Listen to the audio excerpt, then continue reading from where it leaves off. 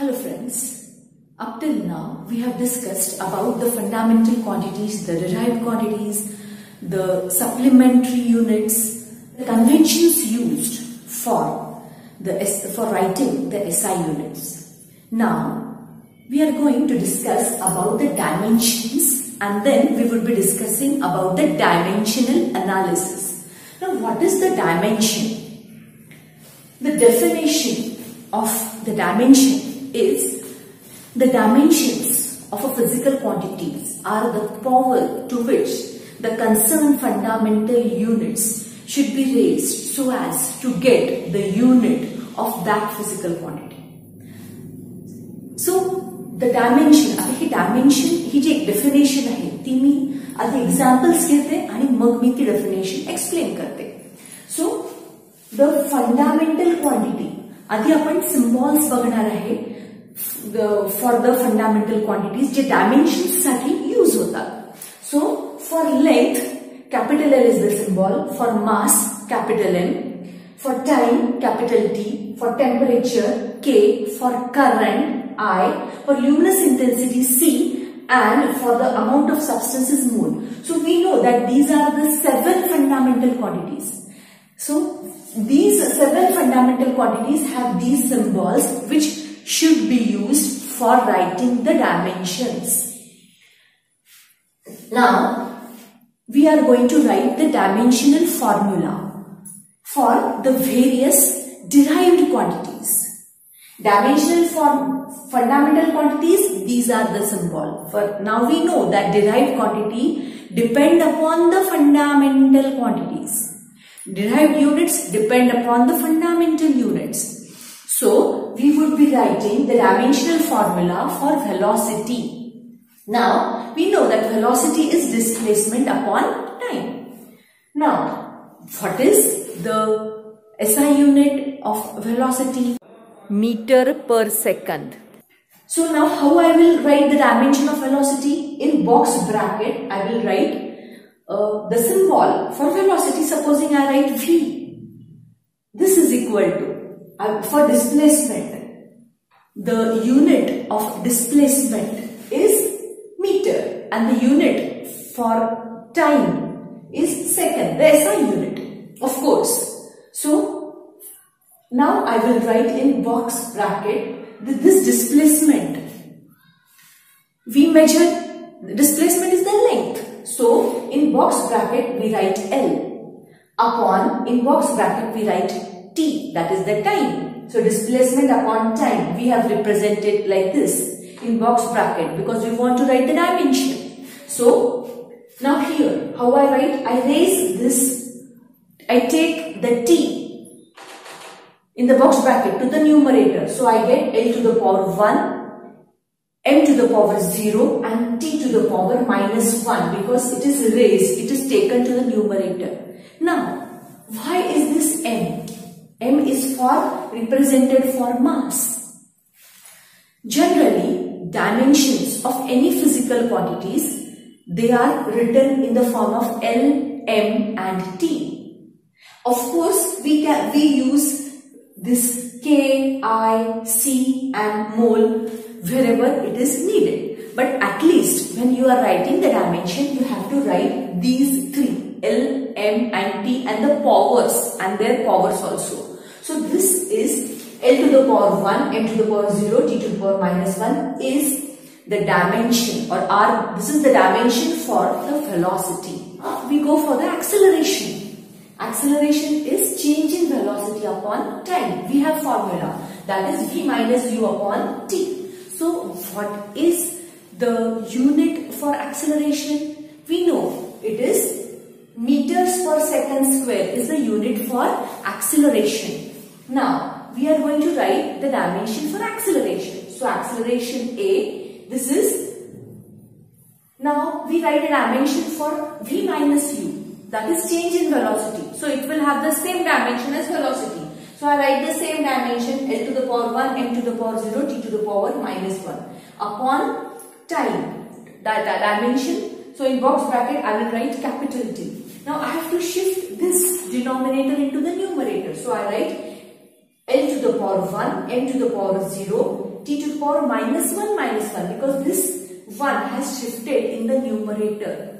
So we get minus 1 minus 1. So we get L to the power 1, M to the power 0, T to the power minus 2. This is the dimension for the acceleration.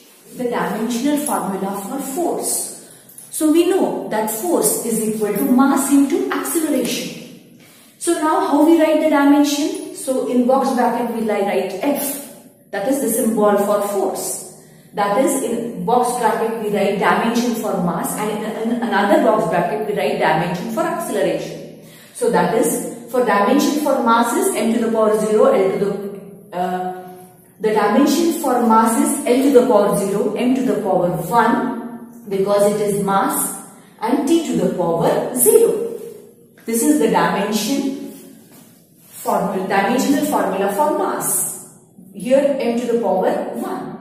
Now for acceleration, just now we have found out the dimension for acceleration that is L to the power 1, M to the power 0, T to the power minus 2. So now we add these two up. The powers we add. So we get 0 plus 1, L to the power 0 plus 1, M to the power 1 plus 0 and T to the power 0 minus 2. So we get L to the power 1, M to the power 1, T to the power minus 2. So this is the dimension formula, dimensional formula for force. Now we go for momentum. We know that momentum is mass into velocity. The symbol for momentum usually we use as P. So in box bracket we write P equal to M that is a dimension for mass and V that is a dimension for velocity. So for the dimension of mass we have written, the dimension for velocity we have written. We have added the powers of both here and in the end we get the di dimension for the momentum.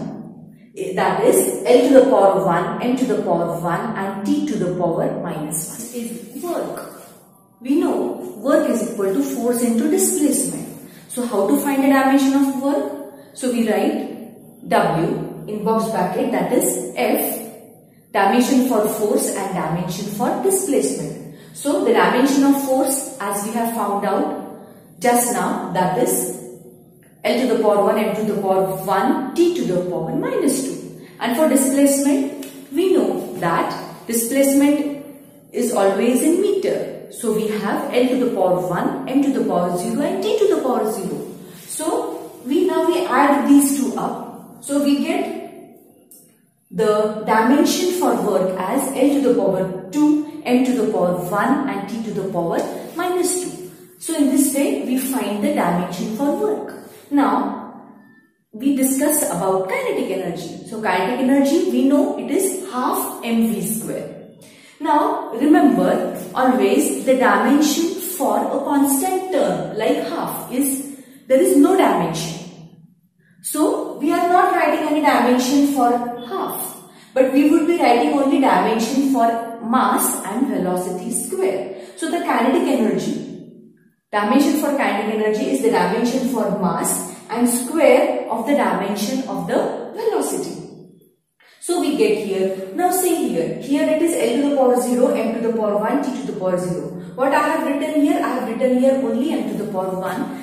Uh, this is also okay. If the dimensions of the other like L and T are 0, then you can write just M also, that is also correct. If you, but it is better you write in this format. Hmm? So, M to the power 1, this is a dimension for mass and dimension for square of the velocity. So we have here L to the power 1, M to the power 0, T to the power minus 1. So we are we have squared. So we have get we are get so we are getting l to the power 2 so 1 square that's l to the power 2 m to the power 0 square is 0 and t to the power minus 1 square is t to the power minus 2 so we are we are adding these two we get the dimension for kinetic energy is l to the power 2 m to the power 1 and t to the power minus 2 now we know that the unit for work is joule and the unit for kinetic energy is also joule.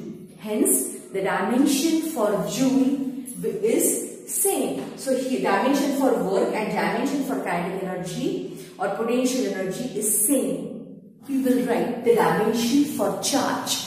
We know that charge is equal to current into time. Charge is represented always by the symbol Q. So we have written in box bracket Q.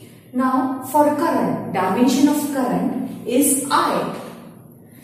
Here because n to the power 0, L to the power 0, to T to the power 0. Hence I have not written anything here. I have just written L, I and this is.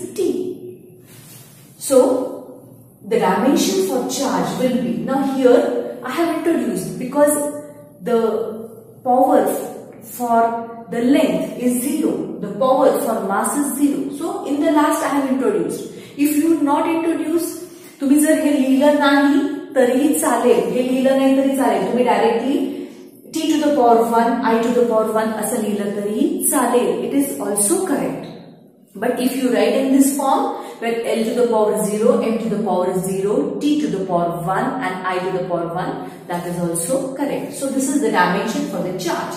Now next we go for the volume. The for the volume is length, breadth into height.